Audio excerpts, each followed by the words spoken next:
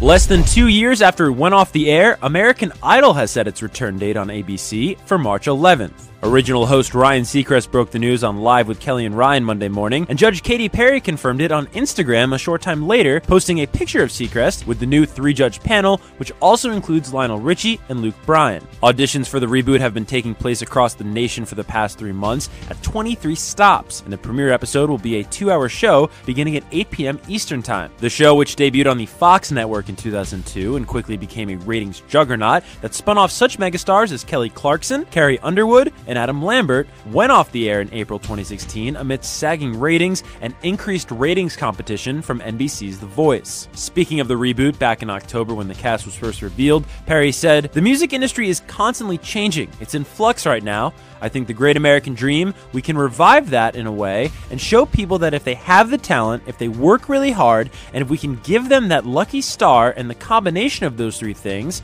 maybe we can give them kind of like a little platform to just shine.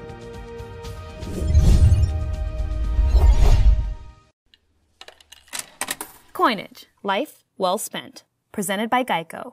Spanning 15 seasons and over 550 episodes, American Idol is one of the most successful programs in the history of American television. But its success wasn't limited to high ratings on TV, as a number of its contestants went from relative unknowns to global superstars. Here are just five of the amazing success stories of American Idol.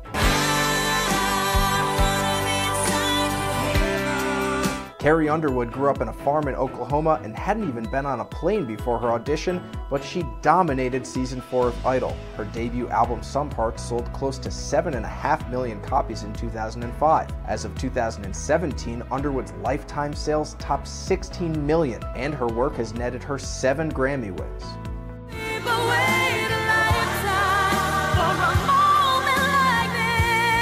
Idol's first winner, Kelly Clarkson, set the bar for success for years to come.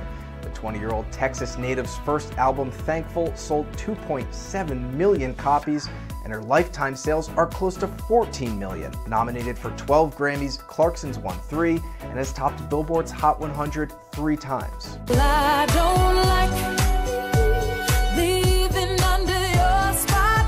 Before Idol's third season, Jennifer Hudson was singing on a Disney cruise ship.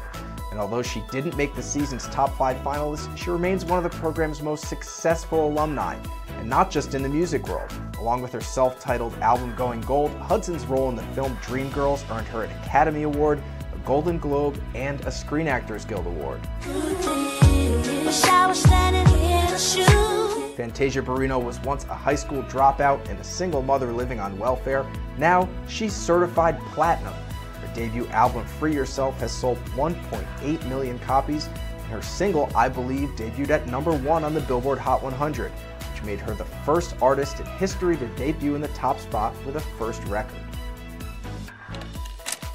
Coinage Life Well Spent. Presented by Geico.